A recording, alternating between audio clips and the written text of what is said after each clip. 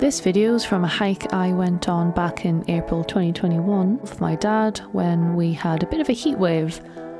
I brought with me a 35mm point and shoot as well as a cheap old 110 camera that was my older sister's back in the 80s and 90s.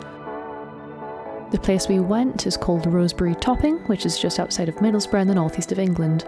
It's kind of our sad answer to a mountain, it's barely a thousand feet tall, and it was pretty dry and an almost sandy kind of day, so a lot of the images I got were quite warm as well as green, which I quite liked. I used lomography film for both the cameras, and this was before their recent price hike, so it was budget at the time.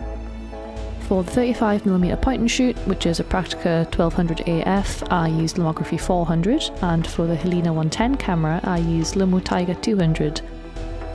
The main quality of lomography films, I would say, is definitely the punchiness and saturation, which I definitely appreciated on this day when everything felt a lot bolder because of the sun and the plants coming back to life again for spring. Something that becomes very obvious is that my point and shoot was a little broken, You'll notice that a few frames have these black bars across the corners, and this is from a slider in front of the lens that is supposed to open entirely when you turn the camera on.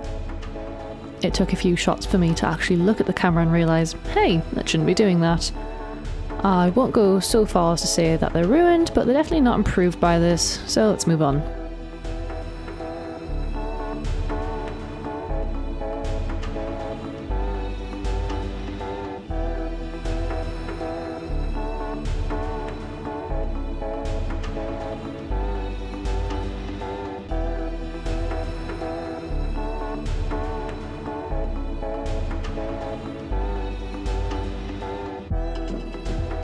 I've only used this 110 camera one or two times before this, and I took it out with me because I wanted something else that was easy to use and required no thought to shoot. Something I really like about 110 is the form factor, which I think might be that of a 16mm frame of motion picture film.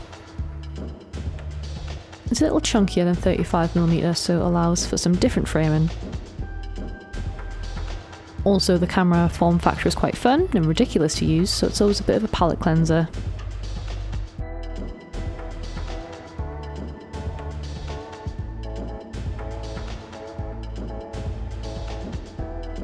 This was a fun little day out. I got to feel a bit like a tourist with my two point and shoot cameras. I'm quite happy with the pictures as well. Uh, I developed everything myself using the Bellini Foto C41 kit, and I scanned everything with my Epson V600 and edited in Lightroom.